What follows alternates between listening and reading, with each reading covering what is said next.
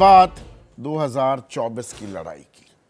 और इस लड़ाई में रोज रोज नए नए मुद्दे उछाले जा रहे हैं। आरोप प्रत्यारोप तो हो ही रहे हैं। लेकिन अब इस लड़ाई में रावण ने भी एंट्री कर दी है। जी हाँ, रावण। बुराई का प्रतीक रावण। और त्योहारों का मौसम आने वाला है। टाइमिंग पर भी गौर कीजिएगा। और यह रावण की एंट्री कैसे हुई? यह आपको एक पोस्टर दिखा रहा हूँ। यह ट्वीट किया है, भारतीय जनता पार्टी ने अपने ऑफिशियल ट्विटर हैंडल के ज़रिए। और क्या लिखा है? The new age Ravan is here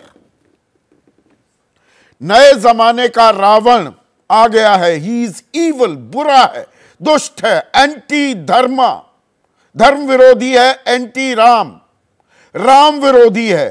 His aim is to destroy Bharat Bharat को तबाह करना इसका मकसद है भारत खतरे में है सात सिरों का रावण दिखाया गया है और रावण यहाँ पर दरअसल राहुल गांधी है।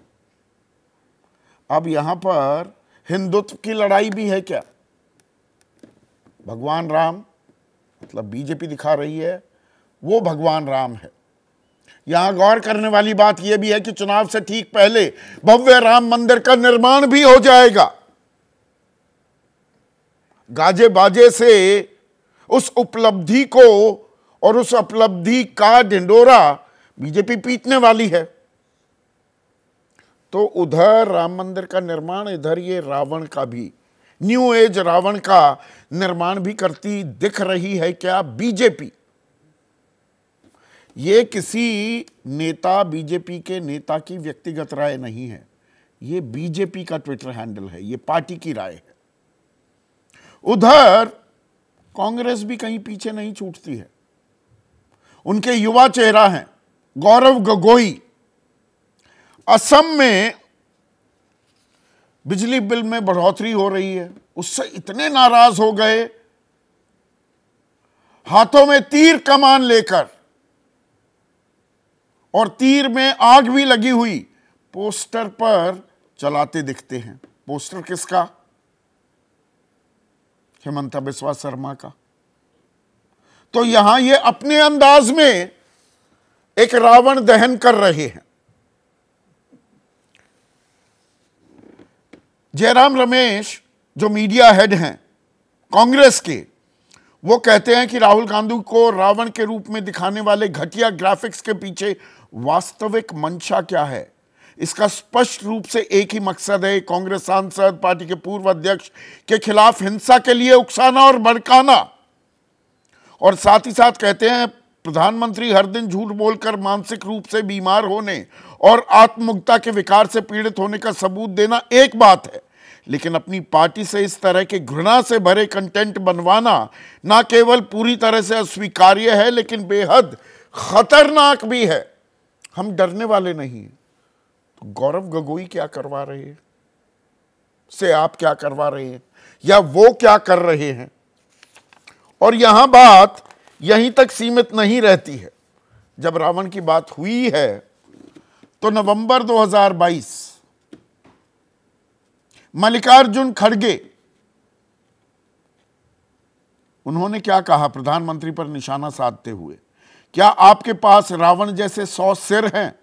मोदी हर चुनाव में चेहरा दिखाने आ जाते हैं, लेकिन क्या आपके रावण की तरह सौ मुख हैं? दिग्विजय सिंह ने कहा था, नरेंद्र मोदी जी, अहंकार रावण का भी नहीं रहा, आपका भी नहीं रहेगा। ये एक हिंदुत्व की लड़ाई है क्या? आप इसे समझिए। हिंदू वोट बैंक एकजुट रखना है क्या? इसमें जो पिछड़ी जाति के आंकड़े बिहार में जारी कर दिए गए और उसको आरक्षण से जोड़ दिया गया, जितनी आबादी उतना हक, ये नारा बुलंद कर दिया गया। तो ये सेंधमारी हो रही है क्या? जातिवाद को तो बढ़ावा मिलेगा। यही राजनीति की कड़वी हकीकत भी है। अपने नफे के लिए कुछ भी किया जा सकता है। पर इसी से असहज भी हो रही है क्या बीजेपी? और दूसरी तरफ़ हिंदुत्व का एक और पहलू, वो पहलू हमने 21 सितंबर को संसद के विशेष सत्र में देखा। जब, ओए भड़वे, ओए कटवे, ओए मुल्ला, ओ मुल्ला आतंकवादी, इन शब्दों से, इन अमर्यादित शब्दों से नवाजा गया बीएसपी के लोकसभा सांसद दानिश अली को करने वाला कौन था? रमेश मिधूड़ी बीजेपी के लोकसभा सांसद। दस दिन का कारण बताओ, नोटिस भी दिया गया था। आज हम पाँच अक्टूबर में बैठे हुए हैं, दस दिन पूरे हो चुके। उसका क्या जवाब दिया गया? क्या कार्रवाई होगी? विशेषा, विशेषाधिकार समिति जो है, वो तो अपनी कार्रवाई करेगी, लेकिन पार्टी क्या कार्रवाई कर रही है? पार्टी ने तो उन्हें टोंक भेज दिया विधानसभा चुनाव के लिए। तो ये लताड़ है या इनाम है?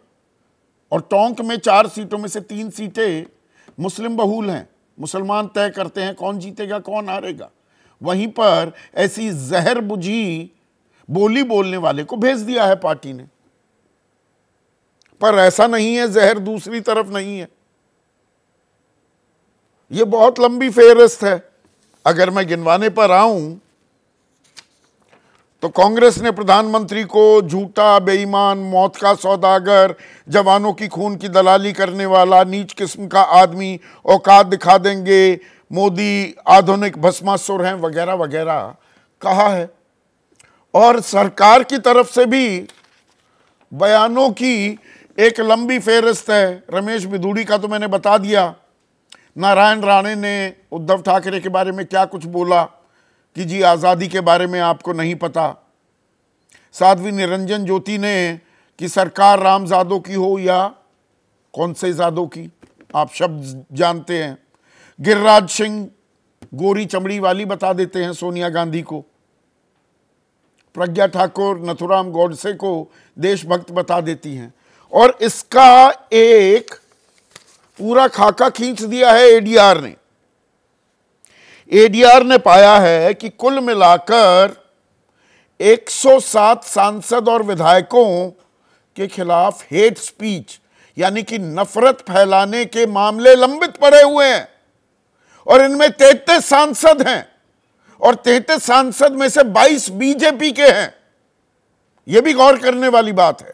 दो कांग्रेस के, दो आम आदमी पार्टी के भी हैं। और चुनावी मुद्दे भी ये बन जाते हैं। राहुल गांधी को बिगड़े बोल के चलते सांसदी जाते हुए हमने देखा, मकान छिनते हुए हमने देखा। प्रधानमंत्री मोदी ने कर्नाटक में गिनवाया कि मुझे इक्यानवे गालियाँ दी हैं। इक्यानवे बार गाली दी है कांग्रेस ने। और गाली गलौज की भाषा का हम कतई समर्थन नहीं करते।